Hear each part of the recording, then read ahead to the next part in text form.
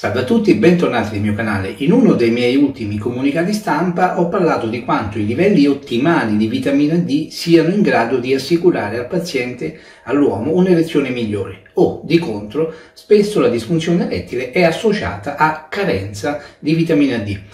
Ormai è comprovato, ci sono stati degli studi importanti a livello mondiale, uno nel 2015 su 3.400 uomini, alcuni con minor numero di eh, pazienti di uomini arruolati, ma molto recenti, pubblicati su PubMed, quindi riviste scientifiche di altissima qualità indicizzate.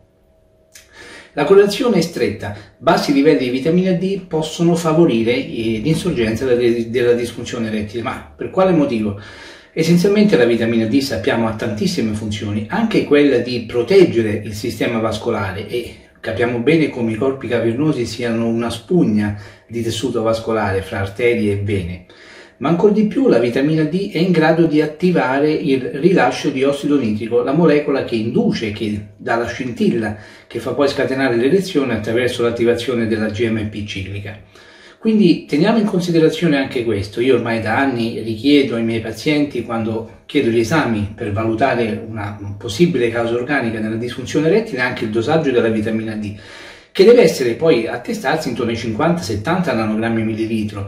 I 20-30 che i laboratori analisi ci danno come sufficiente non dobbiamo ritenerla valida. I livelli di vitamina D devono essere sicuramente più alti. Quindi è buona cosa iniziare a individuare tra le cause di un'erezione non perfetta anche la possibilità che i nostri livelli di vitamina D non siano ottimali. Con questo vi saluto, è un breve video, sono delle pillole mm, che lasciano però dei messaggi che tutti quanti dobbiamo comunque considerare. Vi auguro una buona giornata e ci vediamo al prossimo video.